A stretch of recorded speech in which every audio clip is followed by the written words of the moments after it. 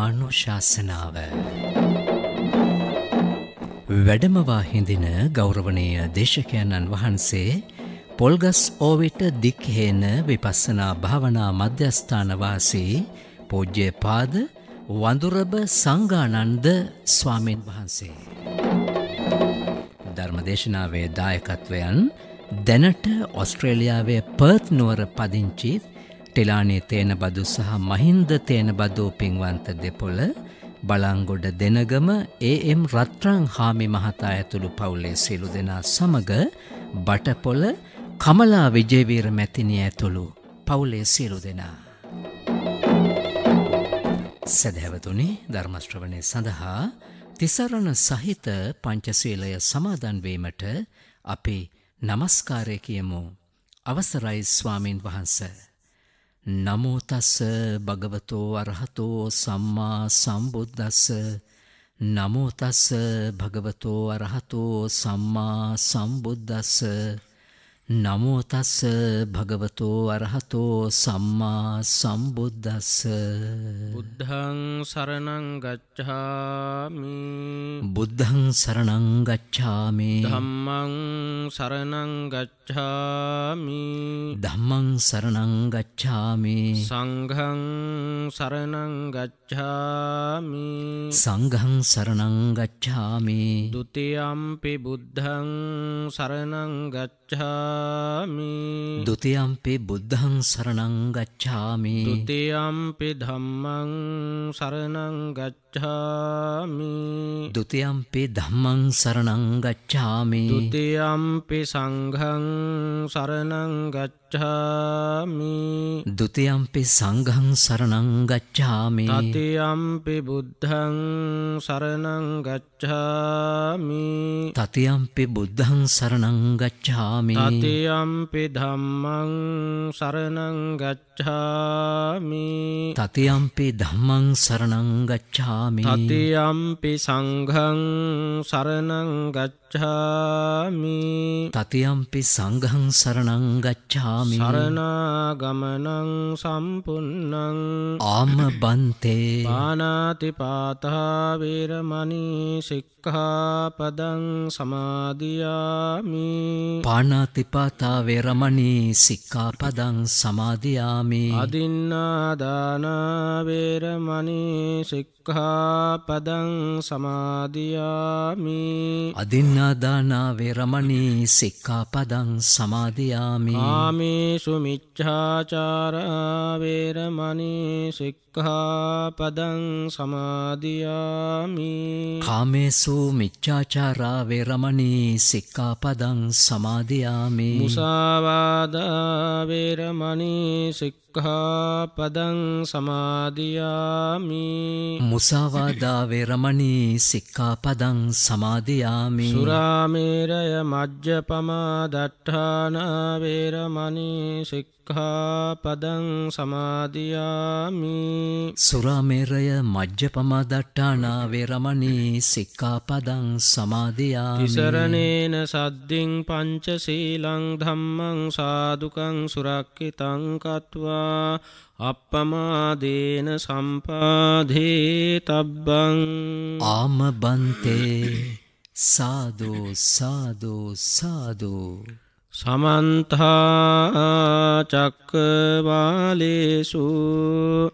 අත්‍රා ගච්ඡන්තු දේවතා සද්ධම්මං මුනි රාජස්ස සුනන්තු සග්ග මොක්කදං ධම්මස්සවන කාලෝ අයං බදන්තා ධම්මස්සවන කාලු අයං බදන්තා. ධම්මස්සවන කාලු අයං බදන්තා.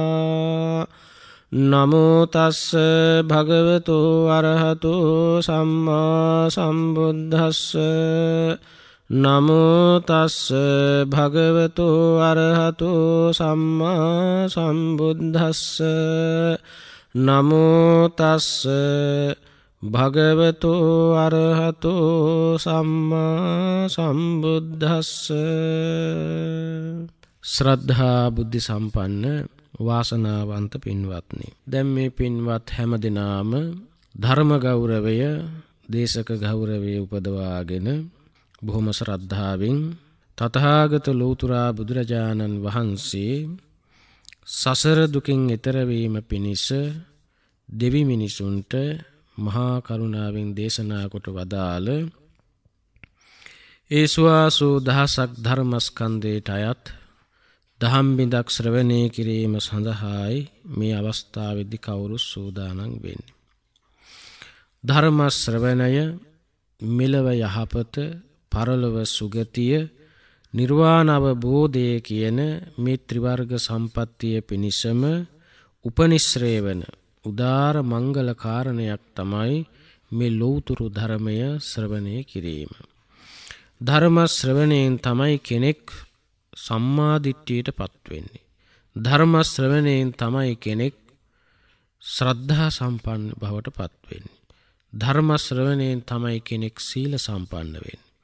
ධර්ම ශ්‍රවණයෙන් තමයි කෙනෙක් සමාධි සම්පන්න වෙන්නේ. ධර්ම ශ්‍රවණයෙන් තමයි කෙනෙක් ප්‍රඥාවන්තයෙක් වෙන්නේ බුද්ධිමතෙක් වෙන්නේ. එනිසා ධර්මය කියන්නේ ලෝකයේ තියෙන ජීවිතයේ තියෙන සත්‍යය මේ ඇහැ කණනාසේ දිවකය මන කියන මේ ආයතන හය නැමැති ජීවිතය තුළ යම් යථාර්ථයක් යම් සත්‍යයක් යම් ඇත්තක් තියෙනවද අන්නේ සත්‍යයට තමයි ධර්මය ධර්මය කියල කියන්න. ඉතින් බුදුරජාණන් වහන්සේ අපට දේශනා කළේ මේ බඹයක් පමණ ශරීරයේ මේ සංඥා සහිත මනස සහිත මේ බඹයක් පමණ අඩිහායක් පමණ මේ ජීවිතය තුළ තියෙන සත්‍යය තමයි උන්වහන්සේ ධර්මය හැටියට ලෝකෙට ප්‍රකට කළේ හෙළි දරව් කළේ. බඹයක් පමණ ශරීරයේ ආයතන හය නැමැති ජීවිතය තුළ සංඥා සහිත මනස සහිත මේ ජීවිතය තුළ දුක කියලා ආරි සත්‍යයක් තියෙනවා. අන්නේ සත්‍යය තමයි ලෝකෙට හෙළි කෙළේ බුදුරජාණන් වහන්සේ ධර්මය නමින්. ඒවගේ මේ දුක හටගන්න හේතුවක් තියෙන. අන්නේ හේතුව ගැන තමයි බුදුරජාණන් වහන්සේ ධර්මය හැටියට ලෝකෙට හෙළි දරව් කළේ. මේ දුකින් නිදහස්වීමක් තියෙනවා. මේ දුක අවබෝධ කර දුකට හේතුවත් තියෙන හේතුව නැතුවන නැති කරාම හේතිය හේතුව නූපදිනකොට මේ දුක නූපදින ධර්මතාවයක් තියෙනවා ලෝකේ නිරෝධයක් තියෙන. අන්නේ නිරෝධය තමයි බුදුරජාන් වහන්සේ සත්‍ය හැටියට ධර්මයේ හැටියට දෙවි මිනිසුන්ට හෙළිදරව් කරේ. ඒ දුක අවබෝධ කරලා සමුදය ප්‍රහාණයක නිරෝධයේ සාත්සාත් වෙන මාර්ගයක් තියෙනවා. එකට කියන ආර්යෂ්ඨාය මාර්ගය කියලා. අන්නේ මාර්ගය ගැන තමයි අපේ ලෝතුරා බුදුරජාණන් වහන්සේ දෙව් මිනිසුන්ට මාර්ගය ධර්මය හැටියට හෙළිදරව් කරේ. එතකොට මේ බුදුරජාණන් වහන්සේ ධර්මය හැටියට මේ ජීවිතය තුළ දුක දුකට හේතුව නිදහස් වීම නිදහස් වීමේ මාර්ගය කියන මේ සිව්සත් ධර්මය තමයි ධර්මය හැටියට දෙවි මිනිසුන්ට සසර දුකින් අත මිදීම පිණිස භාග්‍යවත් බුදුරජාණන් වහන්සේ මහා කරුණාවෙන් ප්‍රකට කළේ හෙළිදරව් කළේ දේශනා කළේ. ඉතින් ඒ ධර්මයේ තමයි අපි බණ හැටියට ශ්‍රවණය කරන්නේ ධර්මානු ශාසනාවක් අහනව කියන්නේ බණ ටිකක් අහනව කියන්නේ අර බුදුරජාණන් වහන්සේ ජීවිතය ගැන පෙන්නපු සත්‍ය හතර ශ්‍රවණය කරනවා කියන කරයි බණහනවා කියලා කියන්නේ. ඒ ධර්මයේ නුවණින් විමසනකොට ඒ ශ්‍රාවකයාට ඒ සත්‍යය දැනෙන්න ගන්නවා. අන්න එතකොට ධර්මශ්‍රවණය යෝනිසෝ මනසිකාරයයි කියන ධර්මතා දෙක ගොඩ නැගුණහම ඒ කෙනා සත්‍යය දකිනවා ඒ දැක්කහම කියනෝ දිට්ටි සම්පන්නයි කියලා ප්‍රඥාවන්තයි කියලා. එතකොට ඒ සම්මාධිට්ටියට පත්වීමයි ධර්මශ්‍රවණයෙන් සහ ඒ දහම නුවනින් කල්පනා කිරීමෙන් සිද්ධ වන්නේ කෙනෙක් සම්මාධිට්ටියට පත්වීමයි. ඒ සම්මාධිට්ටියට පත්වීම සඳහා තමයි ඔබ බණහන්ටුවන වෙන අර්ථයක් සඳහා නෙවේ. ඔබ මේ ලෝතුරු ධර්මය ශ්‍රවණය කරනවා නම් මේ සත්‍යය දැනගෙන මේ සත්‍ය අවබෝධ කර ගැනීම පිණිස සම්මාධිට්්‍යයට පත්වීම පිණිස දර්ශන ඥානයට පත්වීම පිණිසමයි ඔබ ලෝතුරු ධර්මය ශ්‍රවණය කළ යුතුවන්නේ. අන්න එතකොට තමයි ධරසම ශ්‍රවණය ඔබට බොහෝ කලක් හිතසුව පිණිස අර්ථය පිණිස සැනසිල්ල පිණිස ආස නිර්වාණාවබෝධය පිණිස පවතින. යන්න ඒක හොඳයට මතකතියාගන්න. තිං අද ධර්මානු ශාසනාව සඳහා ලෝතුරා බුදුරජාණන් වහන්සේ දේශනා කොට වදාළ සූත්‍ර දේශනාවෙන් සූත්‍රපීටගේ සූත්‍ර දේශනාවක් ධර්මානු ශාසනාව හැටියට මාතෘකා කරගෙන දේශනා කරන්නට බලාපොරොත්තු වෙනවා. මේ සූත්‍ර දේශනාවේ නම තමයි අනුරුද්ධ සූත්‍රය. මොකක්ද සූත්‍ර දේශනාව නම අනුරුද්ධ සූත්‍රය. අනුරුද්ධ කියල කියන්නේ මේ බුද්ධ ශාසනය වැඩහිටිය මහරහතන් වහන්සේ නමක්. දිවස්ලාබීන් අතර අග තැන්පත් වුණු මහරහතන් වහන්සේ නමක් තමයි අනුරුද්ධ ස්වාමීන් වහන්සේ කියල කියන්න. ති මේ අනුරුද්ධ ස්වාමීන් වහන්සේගේ සිතේ පහළ වෙනවා මහා පුරස් පුරුෂ විතර්ක හතක් පහළ වෙනවා. අයකට කියෙන අක්කු මටක් තියෙන බුදුරජාණන් වහන්සේගේ මහාපුරුෂ විතර්කයත් එක්ක මහා පුරුෂ විතර්ක අට. ඒ ඊතකොට ඒ සූත්‍ර දේශනාව සඳහන් වෙන්නේ මහා පුරුෂ විතර්ක අට. එකින් මහා පුරුෂය කියල ගැන රහතන් වහන්සේට.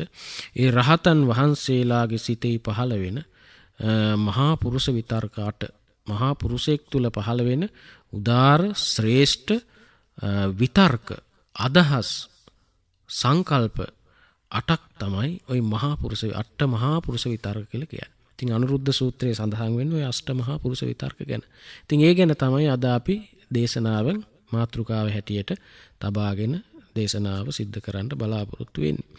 තින් මේ මේ සූත්‍රයේ මේ අෂ්ටමහා පුරුෂ විතර්ක ඇතුළත් වෙලා තියෙන සූත්‍රයේ නම්මොකක්ද අනුරුද්ධ සූත්‍රයේ. ඒ අනුරුද්ධ සූත්‍රයේ කොහෙද තියෙන්නේ සූත්‍ර පිටකේ අංගුත්තර නිකායේ අට්ටක නිපාතයේ තමයි ඒ සූත්‍රයේ ඇතුළත් වෙලා තියෙනේ තමයි සූත්‍රයේ තියෙන තැන මූලාශ්‍රය. සාමාන්‍යයෙන් බොහෝ අය ධර්මශ්‍රවණය කරනකොට ස්වාමින් වහන්සේ මාතෘකා කරපු සූත්‍රයේ මූලාශ්‍රය හොයන. කොහෙද තියෙන්නේ ස්වාමින් වහන්සේක කොතනද තියෙන්නේ? කොයි පොතේ තියෙන්නේ? කොයි නිකායද? කොයි මජ්ක්‍ධිම නිකායද? අංගුත්තර නිකායද? සංයුත්ත නිකායද? දීඝ නිකායද? කුද්දක නිකායද? මොන නිපාතේද ඕක තියෙන්නේ කියලා සමහරු හොයනවා. ඒක හරි වැදගත්. ස්වාමින් වහන්සේලාගේ පුද්ගලික මත ධර්මානුශාසනාව සිද්ධ කරන්න බෑ. සූත්‍ර පිටකේ බුදුරජාණන් වහන්සේ වදාළ බුද්ධ වචනයක්ම ඒ මූලාස්තර සහිතව ඉදිරිපත් කරන්නට ඕන. වගකීමක් ඇතුව එතකොට දේශනාවේ එතකොට දේශනාව තියෙන තැන බලන්න පුළුවන්. ඉගෙන වගකීමක් තියෙනවා. එක ධර්මයේ තියෙන එකක් මේ දේශනා කළ. එතකොට එක භාසුවෙන් බලාගන්න පුළුවන්කම ලැබෙන. එතකොට ඒ සූත් අට්ටක නිපාතයේ අංගුත්‍රනිකා අට්ටක නිපාතයි මේ අනුරුද්ධ සූත්‍රය ඇතුළත් වෙලා තියෙන. ඉතින් මේ සූත්‍රය දේශනා කෙරෙන කාලේ භාග්‍යවත් බුදුරජාණන් වහන්සේ වැඩ හිටියේ භාගතුන් වහන්සේ භග්ග කියන ජනපදේ වැඩ හිටිය භග්ග කියන ජනපදේ සුන්සුමාරගිර කියන නගරේ බේස කලා වනේ තමයි බුදුරජාණන් වහන්සේ වැඩවාසය කළේ. ඒ ඒ ළඟම චේතිය කියල ගමක් තියෙන ඒ හිත ඒ චේතිය කියන ප්‍රදේශයේ තමයි අනුරුද්ධ ස්වාමීන් වහන්සේත් ඒ සමීපේම තමයි වැඩවාසය කළේ. ඉතින් අනුරුද්ධ ස්වාමීන් වහන්සේතකොට රහත් වෙලා නෑ උන්වහන්සේ උන්වහන්සේ එතකොට ධර්මාවබෝධය සඳහා වීරිය කරන කාලේ. ඉතින් උන්වහන්සේ විවේකීව ඉන්නකොට අනුරුද්ධ ස්වාමීන් වහන්සේට මේ පරිවිතර්කයක් ඇතිවෙන විතර්කයක් කියන යම් අදහසක් යම් විතර්කයක් යම් සංකල්පනයක් උන්වහන්සේගේ හිතේ පහළ වෙන විවේකීව ඉන්නකොට මොකද්ද පහළ වෙන විතර්කය? උන්වහන්සේට හිතෙනවා අපිච්චස්සායන් ධම්මෝ නායන් ධම්මෝ මහිච්චස්ස මේ ධර්මයේ තියෙන්නේ අල්පේච්චයාටයි මේ ධර්මය මහිච්චයාට මහා ආසාවල් ගොඩක් ආසාවල් තියෙන ඇයට නෙවෙයි ආසාවන් අඩු අයට තමයි අල්පේච්චායට අප ඉච්ච කියන්නේ ආසාවන් අඩුයි කියනගෙන මහිච්ච කියල කියන ආසාව වැඩි. එතකොට අල්පේච්ච කෙනාට තමයි මේ බුදුරජාණන් වහන්සේගේ ධර්මය තියෙන්. මහිච්චයාට නෙවෙයි කියල අදහසක් පහල ඔන්න මහා පුරුෂ විතර්කයක් එක. දැම් මේ අනුරුද්ධ සාමීන් වහන්සේ හිතන මේ සංකල්පටික මේ විතර්කටික මේ පරිවිතර්කයන් බුදුරජාණන් වහන්සේ පරචිත්ත විජානඥානින් බලාගෙන ඉන්නේ. උන්වහන්සේට පේනවා මේ මහා පුරුෂ විතර්ක පහළ වෙන අනුරුද්ධ හාමුදුරුවන්ට භාගතුන් වහසේ බලාගෙන ඉන්න දිවැසින් පරචිත්ත විජාන ඥානී. එතකොට උන්වහන්සේට පහළුණු පළවෙනි පරිවිතර්කයමකක්ද අදහසමකක්ද අල්පේච්ච කෙනාටයි මේ දහම මහිච්චයාටන අපිච්චස්සායන් දම්මෝනායන් දම මහිච්චස් ඕන දෙවෙනි විතරකය. සන්තුට්ටස්සායන් ධම්මෝ නායන් දම්මෝ අසන්තුට්ටස්ස. අනුරුද්ධ සාමීන් වහසට හිතෙනවා මේ ධර්මය නම් ලදදෙයින් සතුටු වෙන්න පුළුවන් කෙනාටයි මේ දහමතින්. ලදදෙයින් සතුටු වෙන්න බැරි පහසුවෙන් පෝෂණය වෙන්ට කරන්නට බැරි කෙනෙකුට නම් නෙවෙයි. අල් මේ දහමතියනෙ ලදදෙයින් සතුටු වෙන කෙනාටයි ලදදෙන් සතුටු වෙන්න බැරි කෙනාට නම් මේ දහමෙන් ප්‍රයෝජන ගන්න අමාරු. අන්න දෙවෙනි පරිවිතර්කය මහා පුරුෂ විතර්කය. තුන්වෙනි එක පහලනවා පවිචිත්තස්සායන් ධම්මෝ නායන් ධම්මෝ සංගනිකාරාමස්ස. මේ ධර්මය තියෙන්නේ විවේකයේ ඇලී වාසය කරන කෙනාටයි. ගණයා සමග පිරිසෙහි ඇලී ගැලි පිරිස සමග දොඩමලු වෙමින් ආශ්‍රය කරමින් අර පිරිසෙහි ඇලී ගැලි ගණයා කෙරෙහි ඇලී ගැලී වාසය කරන කෙනෙකුට මේ දහමින් ප්‍රයෝජන ගන්න අමාරුයි. මේ ධර්මය තියෙන්නේ හුද කලාවේ තනියම විවේකීව කාය විවේකෙන් චිත්ත විවේකෙන් උපදි විවේකෙන් විවේකය ඇසුරු කරන්න ඉන්න කැමති කෙනෙකුට තමයි බුදුරජාණන් වහන්සේගේ ධර්මයෙන් ප්‍රයෝජන තියෙන්නේ වැඩ ගන්න පුළුවන්කම තියෙන්නේ අවබෝධ කරන්න පුළුවන්කම තියෙන්නේ. ගණයා සමග ඇලිලා ගැලී ගැලී ගැලී වාසය කරන ගණයා නිතරම ගණයා සමග ඇසුරු කරන කෙනෙකුට නම් මේ ධර්මයෙන් ප්‍රයෝජන ගන්න බෑ. පිරිසේ හැලී ගැලී වාසය කරන. අන්න හතරවෙනි පරිවිතුන් හතරවෙනි පරිවිතර තුන්වෙනි පරිවිතර්කය. හතරවෙනියට පහළ වෙනවා මහාපුරුෂ විතර්කය උපට්ටිත සතිස්සායම් භික්කවේ ධම්මෝ නායන් ධම්මෝ කුසීතස්ස. බලන්න ඒක මේ ධර්මය තියෙන්නේ ආරම්භක වීරිය තියෙන. උපට්ටිත සත් ආරද්ධ විරියස්ථායන් දම්මෝ ආරද්ධ විරියස්සායන් දම්මෝ නායන් දම්මෝ කුසීතස්ස. අරක පස්වෙනි එක මේක හතර. අනතර චුට්ටක් වැරදුනා. එතකොට හතරවෙනි එක මොකද? උපට්ටිත ආරද්ධ විරියස්සායන් දම්මෝ නායන් දම්මෝ කුසීතස්. අන්න ඒක තමයි හතරවෙනි එක. එතකොට උර් ඇරඹූ වැර ඇති ඇරඹූ වීරිය ඇති කෙනාට තමයි මේ ධර්මය කම්මැලි කෙනාට අලස කෙනාට නෙවෙයි. දැන් හතරක් කිව්වා. මොනෝද ඒ හතර? අපිච්චසායන් දම්මෝ නායම් දම්මෝ මහිච්චස. මේ ධර්මයේ තියෙන්නේ අල්පේච්ඡයාටයි මහිච්ඡයාට නෙවෙයි. සන්තුට්ට දෙවෙනි එක සන්තුට්ටස් ආයන් දම්මෝ නායන් දම්මෝ අසන්තුට්ටස් මේ ධර්මයේ තියෙන්නේ ලද දෙයින් සතුටු වෙන කෙනාටයි. ලද දෙයින් සතුටු වෙන්න බැරි කෙනාට නෙවෙයි. තුන්වෙනි මහා පුරුෂ විසර්කය පවිචිත්තස් ආයන් ධම්මෝ නායන් ධම්මෝ සංගනිකාරාමස් මේ ධර්මයේ තියෙන විවේකීව කාය විවේකාදී විවේකීව ඉන්න කෙනාට මිසක් ගණයා සමග ඇලී ගලී වාසය කරන කෙනාට නෙවෙයි.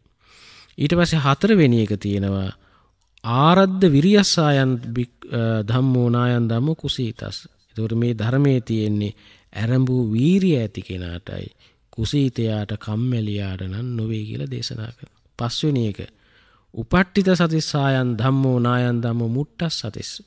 මේ ධර්මයේ තියෙන්නේ සිහි ඇති කෙනාටයි සිහිය ලැබගත්ත කෙනාටයි සිහිය මොට වුණු සිහි මුලා වුණු සිහි සුන් වුණු කෙනාට නෙවෙයි. එතකොට සතිමත් කෙනාට මේ ධර්මයෙන් ප්‍රයෝජන ගන්න පුළුවන්. අසතිමත් කෙනාට බෑ. පස්වෙනි හයවෙනි එක දේශනා කරනවා සමාහිතස්සායම් භික්කවේ ධම්මෝ නායන් ධම්මෝ අසමාහිතස්ස. සමාහිත කෙනාට චිත්ත සමාධිය ඇති කෙනාට තමයි මේ ධර්මයෙන් ප්‍රයෝජන ගන්න පුළුවන්. සමත සමාධියක් වෙන්න පුළුවන් විපස්සනා සමාධිය වෙන්න පුළුවන්. සමාධිම සමාධිමත් කෙනාට තමයි මේ ධර්මයෙන් ප්‍රයෝජන ගන්න පුළුවන්. අසමාහිත කෙනාට සිත විසිරෙන කෙනෙකුට මේ ධර්මයෙන් ප්‍රයෝජන ගන්න බෑ. හත්වෙනුවට දේශනා කරන පඤ්ඤාවන්තස්සායන් ධම්මෝ නයන් ධම්ම දුප්පඤ්ඤස් මේ ධර්මයේ තියෙන ඥානවන්තයාටයි විචාර බුද්ධිය තියෙන විමර්ශන බුද්ධිය තියෙන ඥානවන්තයාට තමයි මේ ලූතුරු ධර්මයේ ප්‍රාදුස් ප්‍රඥ හිතන්න බැරි චින්තන ශක්තිය නැති කෙනෙකුට මේ මේ දහමින් ප්‍රයෝජන ගන්න බෑ. ඒ නිසා විචාර බුද්ධිය තියෙන හොඳ විචාරයක් තියෙන චින්තනයක් තියෙන ඥාන ශක්තිය තියෙන ප්‍රඥාවන්තයාටයි බුදුරජාණන් වහන්සේගේ ධර්මයේ දුෂ්ප්‍රඥාට නම් නෙවෙයි කියලා දේශනාන හත් වෙන එක. අටවෙනි එක පහළවෙනි බුදුරජාණන් වහන්සේ. උන්වහන්සේ එකතු කරන එකත් තමයි අටවෙනි මහා පුරුෂ විසක්. මොකක්ද උන්වහන්සේ එකතු කරන්නේ? නිප්ප පංචාරාමස්සායන් ධම්මෝ නායන් ධම්මෝ පපංචරාමස්ස. නිප්ප පංචාරාමස්සායන් ධම්මෝ කියලා කියන්නේ ප්‍රපංචයේහි නොයලුණු ප්‍රපංච කියල කියන්නේ තන්හා දිට්ටි මාන කියන ඔයි කෙලෙස් ධර්ම තුනට තමයි ප්‍රපංච කිය. ඒ තන්හා දිට්ටි මානයන්හි ඇලී ගැලී ඇලෙන ගැලී වාසය කරන කෙනාට මේ දහමින් ප්‍රයෝජන ගන්න බෑ. තන්හා දිට්ටි මානයන්ට නොඇල්ලුණු නොඇලුණු නොසොයන කෙනෙකුට තමයි මේ දහමත ඒ කියන්නේ නිප්ප පංච කියන නිවනට කියන නමක්. ප්‍රපංච කියන්නේ තන්හා දිට්ටි මාන නිප්පපංචයට පත් වනාගෙන් නිවනට පයිතුව නිවනේ ඇලී ගැලී වාසය කරන.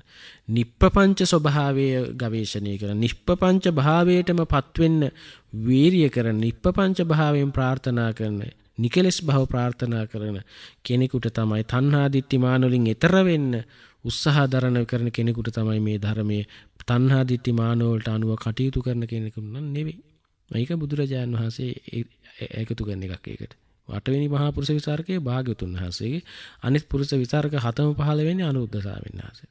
එතකොට ඔයි විතර්ක ඔයි මහාපුරුෂ විතර්ක යම් කිසි කෙනෙක් නිතර නිතර ඇසුරු කරනවා නම් භාවිත බහුලීකృత කරනවා නම් ඒ අනුව කටයුතු කරන උත්සාහවත් වෙනවා නම් බුදුරජාණන් වහන්සේ දේශනා කරන එයා යම් පළවෙනි ධ්‍යානෙට සම්බන්ධ කැමති තාක් වාසය කරන්න පුළුවන්.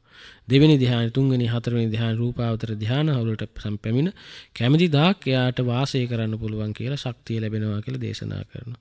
එතකොට බලන්න මේ මහා පුරුෂ විතර්ක අට සිංහලෙන් බැලුවොත් මේ ධර්මයේ තියෙන්නේ අල්පේච්ඡයාටයි මහිච්ඡයාට නෙවෙයි. මේ ධර්මයේ තියෙන ලද දේන් සතුටු වෙන කෙනාටයි ලදදීන් සතුට වෙන බැරි කෙනාට නෙවේ. මේ ධර්මයේ තියෙන විවේකයට කැමති කෙනාටයි පිරිසේ යලෙන ඇලි ගැලි වාසය කරන කෙනාට නෙවේ. මේ ධර්මයේ තියෙන වීරියවන්තයාටයි කම්මැලියාට නෙවේ. මේ ධර්මයේ තියෙන්නේ සතිමත් කෙනාටයි අසතිමත් කෙනාට නෙවේ. මේ ධර්මයේ තියෙන්නේ සමාහිත කෙනාටයි අසමාහිත කෙනාට නෙවේ. මේ ධර්මයේ තියෙන ඥානවන්තයාටයි මේ ධර්මයේ මෝඩයාට නෙවේ. මේ ධර්මයේ තියෙන්නේ නිප්පපංච තණ්හා දිට්ඨි මානයන්ට නොඇලුණු කෙනාටයි. මේ ධර්මයේ තියෙන ප්‍රඥා තණ්හා දිට්ඨි මානයට අනුව කටයුතු කරන කෙනානේ ඔන්න සිංහලෙන්. මහා පුරුෂ විතර්ක අටම. ඉතින් ඔන්න ඔය විතර්ක අට තමයි මේ අනුරුද්ධ සූත්‍රයේ සඳහන් වෙන්නේ. අපි ටිකක් ඕක ප්‍රායෝගිකව විමර්ශනාත්මකව විස්තර සහිතව ටිකක් අපි ඔය ගැන කතා කරන්න ඕන. මාතෘකා අටක් තියෙනවනේ අල්පේච්ඡ භාවයේ ලද දේන් සතුටු වීම එතකොට විවේකෙන් ඉඳීම එතකොට වීරියවන්ත බව ඒතකොට සතිමත් බව සමාහිත බව සමාධිය ප්‍රඥාවන්ත බව නිප්‍රපංච ස්වභාවය ගැන ඔන්නොයි මාතෘකාට පිළිබඳව තමයි ඔයි සූත්‍ර දේශන ඇතුළත් වෙලා තියෙන. තාම වැටිනා ධර්ම කරුණු ටිකක් ඒ සූත්‍රයේ ඇතුළත් වෙලා තියෙන. එතකොට අපි සලකා බලමු මේ සූත්‍රයේ පළවෙනි කාරණේ. අපිච්චස්සායන් ධම්මෝ නායන් ධම්මෝ මහිච්චස්ස. මේ ලෝතුරු ධර්මයේ තියෙන අල්පේච්චයාටයි. මහිච්චයාට නෙවෙයි. දැන් අල්පේච්ච කියලා කියන්නේ මොකද්ද? එතන අල්පේච්ඡතාවයේදී සඳහන් වෙනවා ධර්මයේ සිව්පස අල්පිච්ඡතාවය. පරියත්ති අල්පේච්ඡතාවය. ප්‍රතිපක්ති අල්පේච්ඡතාවය. ඔන්නෝම අල්පේච්ඡතාවය මාතෘකා තුනක තුනකට කඩලා උගන්වනවා ධර්මයේ. අපි අල්පේච්ඡ භාවය කියන්නේ වෙන එකක් පාපිච්චතාවය කියන්නේ වෙන එක. දැන් අපිච්චතාවයයි පාපිච්චතාවයයි පටලවා ගන්න එපා. අපිච්චතාවය කියන්නේ අල්පේච්ඡ භාවය, පාපිච්චතාවය කියලා කියන්නේ පාපයට තියෙන කැමැත්ත. පව් කරන්න තියෙන කැමැත්ත. අල්පේච්ඡතාවය කියලා කියන්නේ දැන් අපි හිතමු සිව්පස අල්පේච්ඡතාවය කියලා ගමු. සිව්පස අල්පේච්ඡතාවය කියලා කියන්නේ සිව්පසය කියන්නේ චීවර, පිණ්ඩපාත, සේනාසන, ගිලම්පස. ගිහි අයටත් එහෙමනි ගිහි අයටත් ඇඳුම් පැළුම් අවසයි ආහාරපාන නිවාස සහ බෙහෙත්තෙත්. පැවිද්දන්ට කියන චීවර පිණ්ඩපා සේනාසන ගිලම් පස කියලා. ඒකමයි. එතකොට මේ සිව්පසේ අල්පේච්චතාවය කියල කියන්නේ සිව්පසේ කෙරෙහි තියෙන කැමැත්ත බොහෝම අඩුයි කියන එකයි. එහෙම නැතු මේ භෞතික වස්තු අඩු කල්ලා මේක කැමැත්ත අඩුවෙන බවන්නේ සමහල්ලාට භෞතික වස්තු නැතිවෙන්න පුළුවන් මහා ඉච්චාවන් හිතේ තියෙන්න පුළුවන්. එතකොට එයා භෞතික වස්තු අඩුනයි කියලා එයා අපි අල්සිව්පස අල්පේච්චයි කියලා කියන්න බෑ. සමහලාට භෞතික වස්තුවල් පිරිල තියෙන්න පුළුවන්. දැන් අපේ බොහෝ විහාරස්ථානවලට සිව්පසේ හොඳට ලැබෙන තැන් තියෙන සමහර පන්සල් තියෙන සිව්පසේ හරියට දාන වේලක් හම්බ වෙන්නේ. ඒ හාමුදුරන්ට සිවුරක් අඳනයක් හම්බෙන්නේ නැහැ. බෙහෙත් ටිකක් ගන්න විදියක් නැහැ. යන්න එන්න වාහනයක් නැහැ. එතකොට උන්වහන්සේලාගේ වෙහෙර විහාරස්ථාන බොහෝ තැන් අඩු අඩුපාඩුකම් තියෙන. ඒවා පිළිසකර වෙන්න ඕන. ඉතින් ඒ වගේ දුප්පත් පන්සල් තියෙනවා. ඒ සමහර තැන් තියෙන බොහෝම සිව්පසේ බොහොම ඉහළින් ලැබෙනවා. හොඳට චීවර ලැබෙන හොඳට දානි ලැබෙන හොඳට ගිහෙර විහාරස්ථාන දිව්‍ය ලෝක වගේ හදල තියෙන බෙහෙත් හේත් ලැබෙන ලොකු දායක පිරිසක්කෙන හෙම පොහොසත් පන්සල්තිය දුප්පත් පන්සලුත් තියෙන.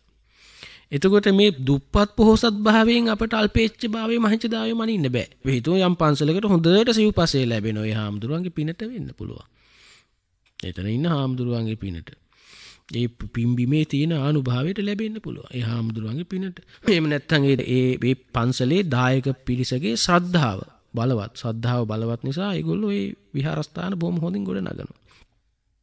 එතකොට හාමුදුරුවන්ගේ ලැබීමක් වෙන්න පුළුවන් ඒ භූමියේ ලැබීමක් වෙන්න පුළුවන් ඒ දායක පිරිසගේ තියෙන මහා ශ්‍රද්ධා ගුණේ වෙන්න පුළුවන්.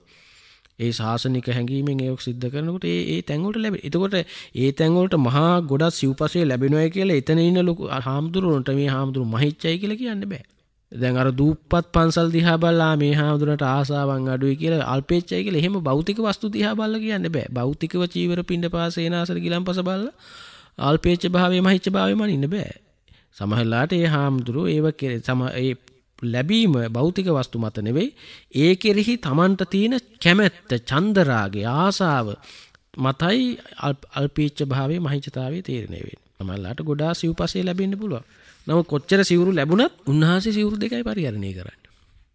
සිවුරු දෙකයි අතර නමුත් සිවුරු දහස් ගණන් හම්බ වෙනවා. නමුත් උන්වහන්සේව පරිහරණය කරන්නේ ඒව නැති විහාරස්ථානවලට බෙදනවා, පූජා කරනවා, විහෙර විහාරස්ථානවල පූජා කරනවා, ඒවා දන් දෙනවා. නමුත් උන්වහන්සේ සිවුරු දෙකයි පරිහරණය කරන්නේ. අන්න එතකොට උන්වහන්සේ කොච්චර සිවුරු ලැබුණත් උන්වහන්සේ පරිහරණය කරන්න අර ලිවුරු දෙක පිළිබඳව විතර අරව විතර බලාපොරොත්තු නැහැ. උන්වහන්සේ අල්පේච්චයි. එතකොට අල්පේච්චතාවය. පින්ඩ පාත ලැබෙනවා. තමන්ට යැපෙන්න පුළුවන් ප්‍රමාණය. තමන් පරිහරණය කරන බත් ඇටයක්වත් විසි කරන්නේ. ඒ හරපිරි මැස්ම තියෙනවා. ඒ වගේම ඒක උන්වහන්සේ ප්‍රත්‍යවේක්ෂාවෙන් ඒ කෙරෙහි නොයලුණු සිතින් නොගෙටනු සිතින් මුලා නොවුණු සිතින් දානිටික වලදනවා අල්පේච්චයි. සිවුර පරිහරණය කරනකොටත් මේ තුවාලයක් වහන රෙදිපටියක් වගේ මේ සූර කෙරේ නොයලුණු සිතින් උන්වහන්සේ චීවරය පරිහරණය කරන. අන්න අල්පේච්චතාව. එතකොට සෙනසුන් තියනෝ සෙනසුන තියෙනවා හොඳට හදල තියෙන්න පුළුවන්. නමුත් උන්වහන්සේ සෙනසුන පරිහරණය කරන්නේ ඒ කෙරෙහි නොයලුණු සිතින් නොගෙටුණු සිතින් මුලා නොවුණු සිතින් ප්‍රත්‍යවේක්ෂණයෙන් පරිහරණය උන්වහන්සේ සේනාසන අල්පේච්චතාවේ තියෙන එතකොට. බෙහෙත් හේටිය ගත්ත පැනඩෝල් පෙත්ත වැලඳුවත් ගිලම් පසටික් ගන්නකොට ඒක ප්‍රත්තිවේක්ෂා කරල මෙත් සිත වඩල නොයලුණු සිතින් ඒක අර්ථය සිහි කරල පරිහරණයක. සිව් පසේ උන්වහන්සෙල්ල කොච්චර හොඳට ලැබුණත් ඒ කෙරේ ප්‍රත්‍යවේක්ෂාවෙන් සිහිනුවනින් මුලා නොවී ආසාවන් දුරු කර ලාසාාව නූපදින විදියට කුසල් සිතින් සිව්පසේ පරිහරණය කරනවා. ඒක තමන්ට අපායට පාරකපා ගන්නි නෑයකින්. එකින් තමන්ට අකුසල් සිද්ධ කරගෙන මාර්ගය වහගන්නේ නෑ. අන්න නිවම් මග වහගන්න සිව්පසේ පරිහරණය කර අන්න සිව්පසේ අල්පේච්චතයි. තුර උන්වහන්සේලා ඒ සිව්පසය කොපමන ලැබුණත් ඇත්තට මුන්වහන්සේලා ඒ කිරිහි ආසාවන් අඩුයි අල්පේච්චයි. සමහර කෙනෙකුට සිව්පසේ නැතිවෙන්න පුළුවන් හැබැයි උන්වහන්සේ භෞතික වශයෙන් පේන නෑ නමුත් උන්වහන්සේගේ හිතේ ලොකු බලාපොරොත්තු තියෙන ආසාවන්තේ. එතකොට මහිච්චයි. එතකොට අන්න සිව්පස අල්පිච්චතාවය කියන එක අන්නේ වගේ ප්‍රත්‍යවේක්ෂණයෙන් තමයි ගොයක තමයි බුදුරජාණන් වහන්සේ ওই ප්‍රත්‍යවේක්ෂාව කියලා එකක් දේශනා කරලා තියෙන්නේ. ඒ ප්‍රත්‍යවේක්ෂාවේ අර්ථය දැනගන්න ඕන. ඒක පිළිකුල් වශයෙන්, පටිකුල් වශයෙන් බලන්න ඕන, ධාතු වශයෙන් බලන්න ඕන, ශූන්‍ය වශයෙන් බලන්න ඕන, මෛත්‍රී කරන්න ඕන. ඒ සිව්පසේ ප්‍රත්‍යවේක්ෂා කරන ක්‍රම තියෙනවා. සිහිනුවණින් පරිහරණය කරන්න ඕන. එහෙම කරන්න බැරි නම් අඩුම ගානේ අපි අහලා තියෙන විදිහට දවසට දෙපාරක්වත් ප්‍රත්‍යවේක්ෂණය කරන්න ඕන. රාත්‍රී නින්දට යන්න කලින් ප්‍රත්‍යවේක්ෂණය කරන්න ඕන. උදේ නැගිටින මොහොතේ ප්‍රත්‍යවේක්ෂණය කරන්න ඕන. දවසට දෙපාරක්වත් සිව්පසය තමන්ට ඒ පරිහරණය කරන වාරයක් පාසා එක සිහි කරගන්න අපහසු නම් දවසට දෙපාරක්වත් සිව්පසේ අනිවාර්යයෙන්ම භික්ෂූන් වහන්සේ නම ප්‍රත්‍යවේක්ෂා කරන්න ඕන. එහෙම ප්‍රතිවේක්ෂා නොකොළොත් කාලය ඇගේ ඇවෑමෙන් අර සිව්පසය තර්ණාවෙන් පරිහරණය කිරීම නිසා ඒ කෙරෙහි මානසිකව බැඳීමක් වෙනවා. එතකොට ඒ භික්ෂුව සිව්පසය තුලින් මෙයාගේ මනසේ කෙරෙහි මානසික බැඳීමෙන් වැහිලා ගිහිල්ලා මරණයට පත් වෙලා පෙරේත ලෝකෙ උපදිනවා. සිව්පසය නිසා දුගතිගාමී වෙන අවස්ථා බොහෝ තියෙන පෙළ දහමෙත් ඒව සඳහන් වෙනවා මේ සිව්පසය කියන්නේ මාර්ය අටෝපු උගුලක් හැටියටයි බුදුරජාන් වහන්සේ දේශනා කරේ. ඕකට අක හරියට පරිහරණය නොකළොත් ඕකෙන් අපායට යන්නත් පුළුවන්. ඕකට දිව්‍ය ලෝකෙට යන්නත් පුළුවන්. සිව්පසයේ පරිහරණයකට ඕන නිවන් දකින්නත් පුළුවන්. ඒක පරිහරණය කරන කෙනාගේ ආකල්පය මතයි තමන්ට ඒක හිතසුව පිණිස පවතී දායහපත පිණිස පවතිනවද කියලා පයි මොකද සිව්පසය කියන්නේ අම්මා තාත්තා දෙන එකක් නෙවෙයි ඥාතීන් දෙන එකක් නෙවෙයි සදහැවන්තයෝ බොහෝම ගෞරවයෙන් ඔලුවට තියාගෙන ඇවිල්ලා පූජා කරලා වැඳලා යන එක. ඒ නිසා ඒක ප්‍රත්‍යවේක්ෂණය කියන එක බුදුරජාන් වහන්සේ බුදුරජාන් භික්ෂුන් වහන්සේලාට අනිවාර්ය අංගයක් කළා. ඒ මොකද එහි තියෙන භයානක පැත්ත නිසා. එනිසා ප්‍රත්‍යවේක්ෂාව නොකොරොත් ණය වෙනවා ඉන පරිභෝගය කියලා ඇවතුකුත්තේ. ඒ නිසා පින්වසන අල්පේච්ඡතාවයේ සිව්පස අල්පේච්ඡතාවයේ තියෙන්න ඕන. ඊළඟට පරියත්ති අල්පේච්ඡතාවය. බොහෝ ඇසූ පිරූතෙන් තියෙන්න පුළුවන්. ඒවා පමණට ප්‍රමාණයට ප්‍රකාශ කරන ඒව බොහෝ දැනගත්තයි කියලා තොර තෝංචයක් නැතු ඒව කියවන්න යන්නේ නෑ. ඒ අවශ්‍ය තැනට අවශ්‍ය ටික කියලා නිහඬ වෙනවා. ඒ කිසි දෙයක් නොදන්නා වගේ තමයි ඉන්නේ. අර මහා ප්‍රාඥ සාරීපුත්ත මහරහතන් වහන්සේ පිණ්ඩ පාත යනකොට රොඩී කොල්ලෙක් පාර යනෝ වගේ උන්වහන්සේ හරි නිහතමානීව යනවා කියන. අං කැඩිච්ච පිංගොනෙක් පාරදි පාරය අයින්නට වෙලා යනෝ වගේ ආන්නේ වගේ කියන මහා ප්‍රාඥ සාරිපුත්ත මහරහතන් වහන්සේ. එතකොට බලන්න උන්වහන්සේගේ නිහත පාපිස්සක් වගේ උන්වහන්සේ නිහතමානී. එතකොට අන්න එතකොට උන්වහන්සේලා බොහෝ ඇසූ පිරු තැන් තියෙනවා මහා ප්‍රඥාව බොහෝ ප්‍රතිභාව තියෙන උත්තමයෝ. නමුත් උන්වහන්සේලා මේ හය හතරවන් නොදන්නවා වගේ උන්වහන්සේලා සම ජීවත් වෙන්නේ නිහතමානීව. අන්න බලන්න ඒ උන්වහන්සේලා දැනුගත් බව තිබුණට ඒව ප්‍රදර්ශනය කරන්න යන්නේ නැහැ. ඒව ප්‍රදර්ශනය කරන්නේ නැහැ. මොකද අල්පේච්චයි.